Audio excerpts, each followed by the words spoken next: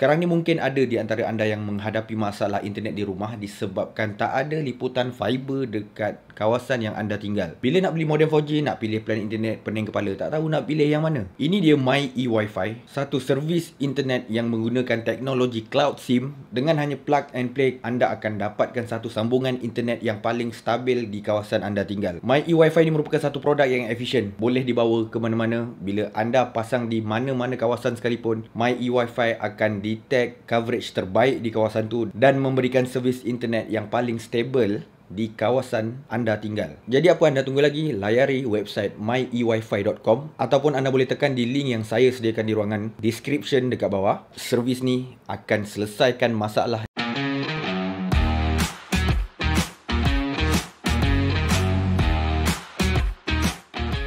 Testing mic 1, 2, 3 Okay, Korang pernah dengar Tune Talk? Ha, bab A Asia Tune Talk. A Asia Tune Talk, Tune Talk A Asia.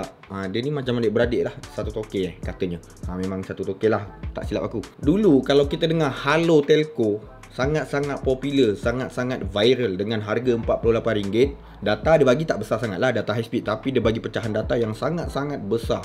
Besar tak boleh bincang punya. Tapi aku terima banyak feedback di mana ramai pengguna cakap plan Halo Telco tu dah tak ada.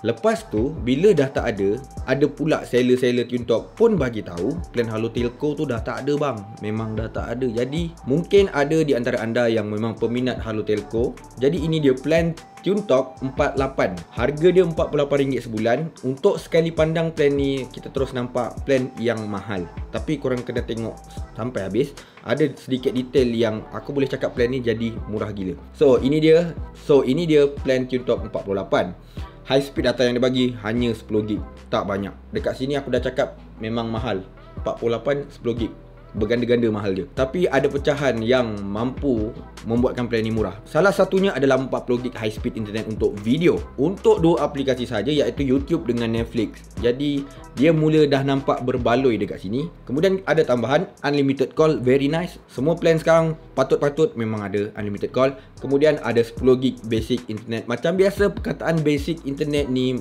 boleh membuatkan orang rambang mata. Besar macam mana pun basic internet sentiasa abaikan guys. Ianya tak lebih sekadar cukup-cukup untuk balas WhatsApp. Memang slow gila. Lepas tu ada booster sebanyak 10 gig add-on available. 10 gig.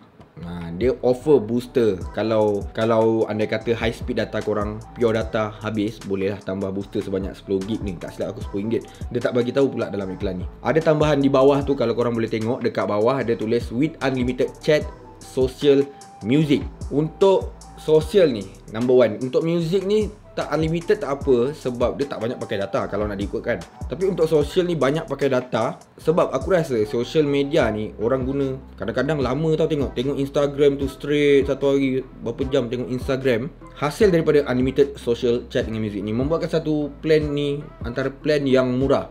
Tapi aku tak pasti, aku agak blur. Adakah ini yang dikata Halo Telco masih ada atau tak plan ni sekarang? Kalau kita tengok dekat website ni kan, apa yang korang nampak tu kat ujung tu dia ada tulis new. Ha, kalau kat gambar ni mungkin tak nampak sikit lah. Korang boleh tengok dekat website dia cakap new. Bermaksud ini plan baru tau. Dia orang baru update plan ni. Tak logik lah kalau plan ni tak ada dekat pasaran. Sekarang ni untuk unlimited social kita tengok aplikasi apa je yang termasuk dalam unlimited social. Ha, dekat sini korang boleh nampak. Untuk unlimited chat ada 5 aplikasi. Whatsapp WeChat, Imo, Viber dengan Line. Nice, WhatsApp dah unlimited.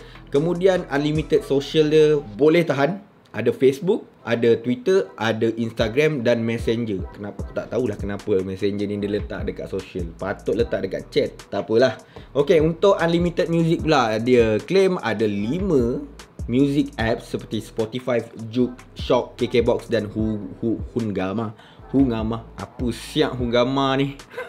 Aku tak pernah nampak lah Tapi okey lah. At least untuk unlimited social Dia masukkan tiga aplikasi popular termasuk messenger tu Abaikanlah messenger. Itu kira chat social. Ada Instagram, Twitter, Facebook Antara tiga social media yang paling popular dekat dunia ni Sayang TikTok tak ada. Patutnya TikTok kena ada. Daripada dia letak messenger tu Dia buang messenger Letak TikTok. Aku rasa lebih ramai orang guna TikTok Daripada messenger Facebook ni. Jadi guys Apa pendapat korang? Ada adakah ini murah? Bagi aku ini adalah satu plan yang sangat-sangat berbaloi dan murah bagi korang yang sukakan pecahan data yang terkawal. Jadi korang boleh kenal pasti keperluan korang. Mungkin korang kaki Facebook, ah boleh ambil plan ni memang sangat-sangat berbaloi ataupun mungkin korang uh, kaki Twitter, dah tersedia Twitter, Instagram, Facebook memang dah unlimited apa yang dia offer. Cuma FUP untuk social media yang unlimited ni aku tak jumpa dan aku buka di term and condition dia tak ada bagi tahu langsung. Kita boleh expect ini adalah satu plan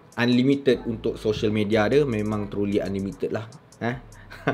boleh percaya ke? Aduh mak ai. So guys, kalau korang dah guna plan Tuntok 48 ni Why not you guys kongsikan pengalaman korang dan review korang di ruangan komen di bawah Nak tengok betul tak apa yang di offer ni Consider to subscribe like kalau suka share kalau berguna I'll see you guys on my next video Bye